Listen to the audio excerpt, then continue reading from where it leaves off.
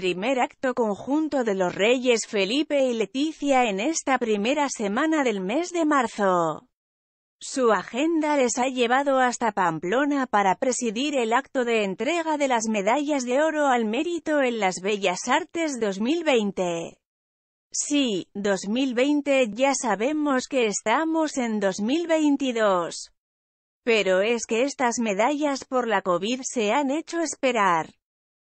Estos premios sirven para reconocer a las personas y entidades que han destacado en el campo de la creación artística, prestando servicios señalados o fomentando notoriamente la enseñanza, el desarrollo y difusión del arte o la conservación del patrimonio artístico nacional. En esta ocasión, el acto se ha celebrado en el Baluarte de Pamplona. Unos prestigiosos galardones que este año han recaído en algunos de los rostros más populares y queridos de nuestro país.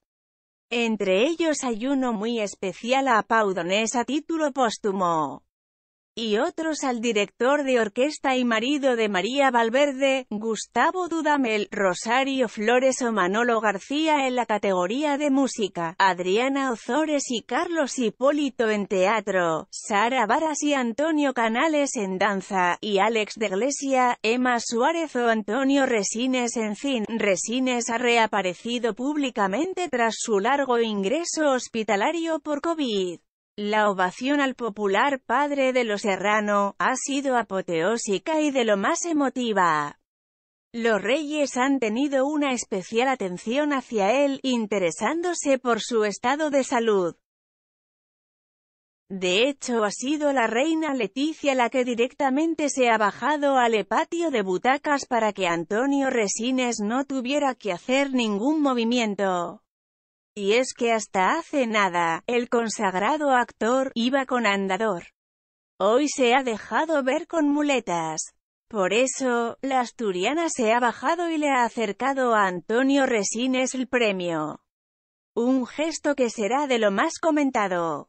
Ya lo decía el escritor y experto en casas reales, la Casa Real debe mucho a Leticia. Por su parte, el rey Felipe, tras ver el detalle de su mujer, también se ha acercado para darle la enhorabuena e interesarse por su estado de salud.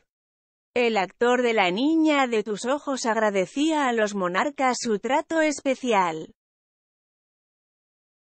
Los reyes son unos cinéfilos empedernidos, y por todos es sabido que mantienen reuniones en casa con actores y artistas como que acuden con asiduidad al cine. El acto, tan esperado, ha estado lleno de momentos muy mágicos como el que han vivido el rey Felipe y Rosario, mostrándose admiración mutua.